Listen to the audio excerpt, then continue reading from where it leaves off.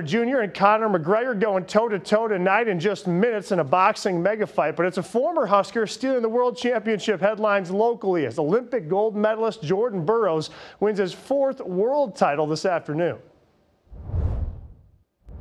It was amazing, dude. Like this moment has been in my mind, visualized it for such a long period of time. Literally, as soon as I stepped off the mat in Rio, I'm like, man, I remember doing an interview with USA Wrestling. I said, I will be a world champion again at some point in my career. And it came a lot sooner than a lot of people expected it to.